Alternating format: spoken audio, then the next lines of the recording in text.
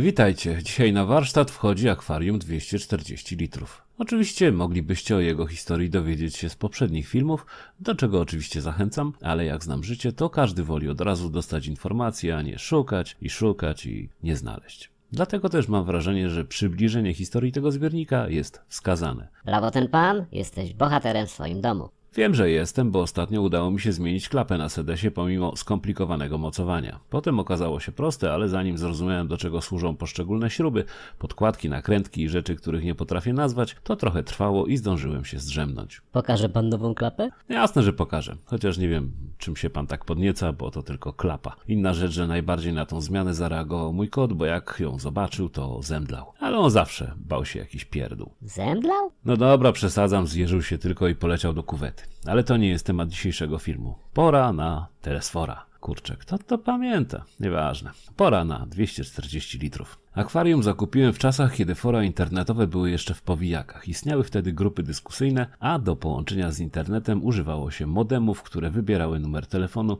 i w taki sposób podłączało się bardzo drogo do sieci. Akwarium zakupiłem już używane od jednego z bardziej znanych w Łodzi akwarystów. Teraz coś o nim mało słychać, ale ludzie mają tak, że co jakiś czas chcą lub muszą z hobby zrezygnować. Wtedy znikają z internetu, a przynajmniej z miejsc związanych z akwarystyką. Ale nieważne. Zakupiłem akwarium, przewiozłem do swojej ówczesnej firmy, ustawiłem, zalałem i stworzyłem w nim pierwszy design, od nazwy którego to designu mam swój dzisiejszy nick, czyli Moss Art. Akwarium było zamszone po całości, łącznie z tylną szybą, którą omszyłem w sposób jak na tamte czasy nowatorski, uzyskując z muchów tło 3D, a może i więcej D?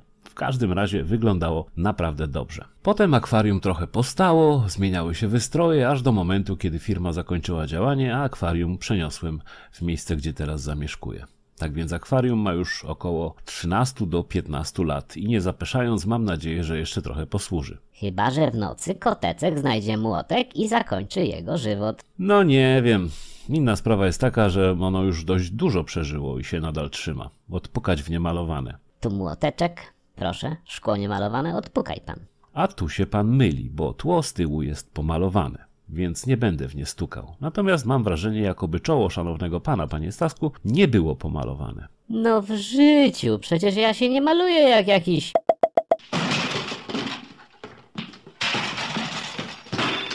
No i odpukane w niemalowane. Co za kretyńskie gusła. Ja nie wiem, jak można w te brednie wierzyć. Puste wiadra, czarny kot, drabiny. Ludzie. Ludzie jednak lubią i potrzebują czegoś, czego można się bać. Nigdy tego nie zrozumiem. Tak więc od roku 2013 akwarium stoi w tym miejscu, gdzie stoi i choć próbuję je umieścić gdzie indziej, to niestety jakieś fatum mnie prześladuje, kiedy tylko pomyślę o przenosinach. Najpierw sobie wymyśliło pandemię, a potem uszkodziło mi nogę. Co to jest minoga? Minuk, a nie minoga. Taki wodny pasożyt żrący ryby. Ale nogę mam uszkodzoną. Lekarz powiedział, że to nic wielkiego, że będę żył. Dobre i to. W każdym razie łazić nie mogę, bo więzadło mi siadło. I to właśnie to fatum. Ale ja w nie nie wierzę, bo to oczywiście bzdura. Bzdura. Bzd... Ale coś jest na rzeczy.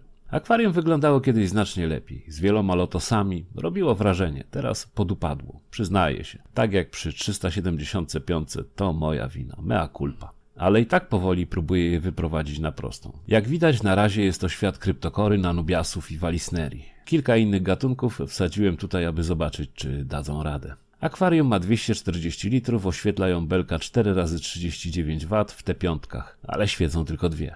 Dwie pozostałe sporadycznie sobie migną, bo Chińczyk zamontował dziadowską elektronikę, a ja jakoś nie mam serca do kolejnej wymiany bebechów. Jeden sterownik już wymieniłem, ale Fatum działa, bo jak wymieniłem jeden, to spierdzielił się drugi i odechciało mi się wymiany. Ale w końcu będę musiał tą belkę rozbebeszyć, żeby dać roślinom trochę więcej światła. Jeśli chodzi o złomowość sprzętu, który tu działa, to dodam jeszcze filtr Aquaela Ultramax 2000. Filtr ten był prezentem od widza. Nówka nieśmigana. Niestety, był to filtr z jednej z pierwszych serii i ma cudny mankament w postaci zapowietrzania się. Wtedy zatrzymuje przepływ wody i tłucze głowicą. I trzeba dziada odpowietrzać za pomocą rączki do pompowania.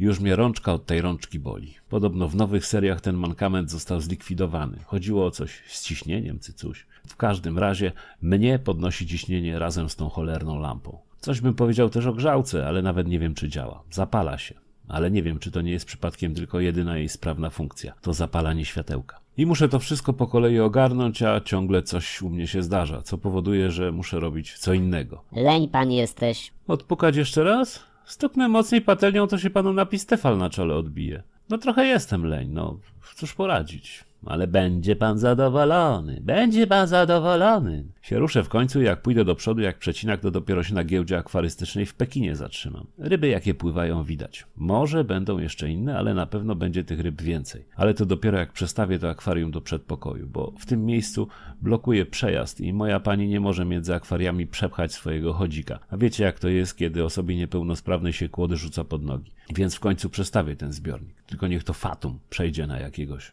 sąsiada. To, co teraz powiem, nie dotyczy bezpośrednio tego zbiornika, ale ostatnio na moim Discordzie, na którego zapraszam wszystkich serdecznie, rozmawialiśmy o bulwach roślin, które leżą w podłożu od pół roku i teoretycznie rośliny nie ma. Ale, ale, ale to nieprawda. Biorąc pod uwagę sposób egzystencji, wiele roślin po prostu zimuje. I niekoniecznie zimą. Jest to taki okres spoczynku, kiedy roślina nie ma żadnych liści, a tylko i wyłącznie bulwę. I taki właśnie numer wyciął mi Aponogeton crispus. Miałem dziwne wrażenie, że ta roślina wypadła z mojego zbiornika jakieś dwa lata temu.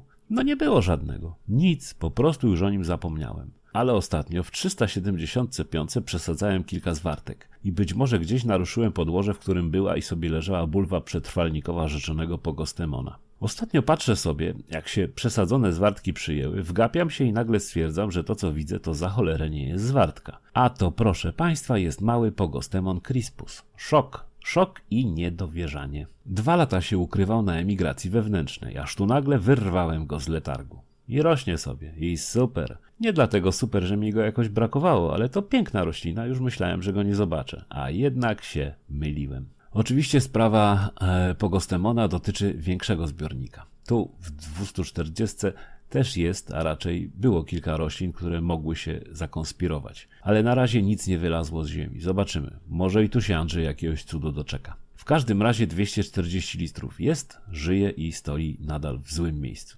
Ale to się zmieni. I zmieni się całe akwarium. Będę Was na bieżąco informował o jakichś poważniejszych zmianach. I nie dlatego, że się lubię chwalić. Raczej lubię sobie pogadać do mikrofonu o tym i o owym. Bo tak w życiu osobistym jestem raczej małomówny i o akwarystyce nie rozmawiam. Ta, i kogo pan chce nabrać? Pan to nawet na sedesie o tych chwastach gada. No i żywa reklama Tefala leży sobie na podłodze. To do usłyszenia. Dobranoc. Jezu, ale mnie zdzielił tym żelastwem. I sobie poszedł degenerat jeden, a miał powiedzieć o kamerze. I znowu na mnie to zrzucił. Jak kiedyś toniczkę z dziesiątego piętra. I to nie taką małą balcowatą, ale dużą, prosto padłościenną. Z zawartością. Zaraz, co ja miałem powiedzieć? Aha. Stara kamera już powoli się poci w czasie nagrywania. To Mozart powiedział, że może trzeba ją zmienić na jakąś inną. No to ja mu mówię, że za te pieniądze, co on dostaje od państwa polskiego, to może sobie rylec kupić i tablicę kamienną, jak ją zarąbię z cmentarza. I se może na niej sceny ryć do woli. Więc na zebraniu załogi pomysł padł, aby o pomoc widzów ukochanych naszych poprosić. Dlatego też na PayPalu zbiórka ogłoszona została, aby odpowiednie środki zabezpieczyć w celu zakupu pięknego nowego wideo rekordera. Co by nadal kręcić i jeszcze lepiej kręcić, żeby było widać lepiej i ostrzej w ogóle. Więc jakby któryś z szanownych widzów chciał się dołożyć do tego nowego ustrojstwa, to Mozart uprasza o skorzystanie z linku pod filmem. I z góry dziękuję i do nóg pada i obiecuje, że pieniędzy nie przepije ani nie wyda na panie lekkich obyczajów. A ja mu mówię, że to kupa kasy i że żadnych szans nie ma, niech już na ten cmentarz spod tę płytę leci. No to on mówi, że wierzy w człowieka, naturę ludzką, not war i ojca Mateusza. No to ja mu mówię... Za słabo go poprzednio trzepnąłem. Dobranoc.